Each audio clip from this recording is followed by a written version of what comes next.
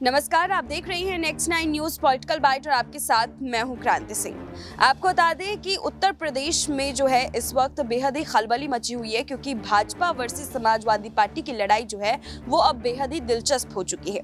हमने देखा कि बीते दिन जो है, समाजवादी पार्टी के रास्ते में भाजपा ने मुश्किल खड़े करने के लिए कई सारे पैतरे आजमाए, जिनमें एक पैतरा ये भी था कि आज़म खां और उनके बेटे की विधायकी रद्द करवाना।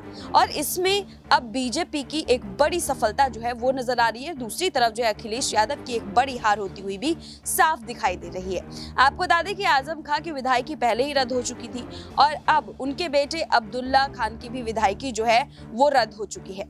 आपको बता दें कि करीब पंद्रह साल पहले जो एक मामला शुरू हुआ था, उस मामले की कार्रवाई के बाद आज यहाँ पर जो है अब्दुल्ला खान की यहाँ पर एक बार फिर से विधायकी रद्द कर दी गई है। इसके ऊपर बीजेपी सांसद का जो है एक बड़ा बयान भी सामने आता है, जिसमें वो ये बात कहते हुए नज़र आते हैं कि ऐसा पहली बार हुआ है कि दो बार एक ही जगह से विधायक बनने के बावजूद भी उस जगह से दो बार उनकी विधायकी जो है रद्द कर दी गई है। वो भी उनके पुराने केस के चलते, जो कि समाज में जो है एक अच्छे स्वरूप के साथ में जनता के सामने जो है एक बढ़िया तौर तरीके के साथ यहाँ पर एक एग्ज़ाम्पल सेट करने की कोशिश की जा रही है।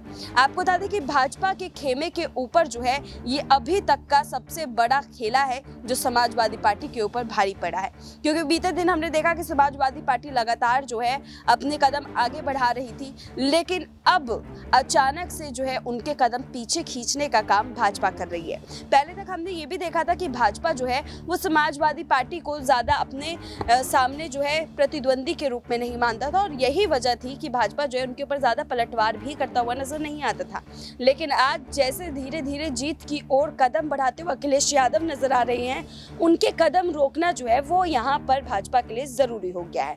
और यही वजह है कि भाजपा की तरफ़ से जो है ये तमाम कोशिशें की जा रही है। फ़िलहाल आज़म खां के बाद उनके बेटे की विधायकी रद्द होने को लेकर के आप लोग के क्या तर्क है, कमेंट सेशन में ज़रूर बताइएगा। आज के लिए बस इतना ही। देश दुनिया की तमाम बड़ी खबरों के लिए देखते रहिए next nine news political bite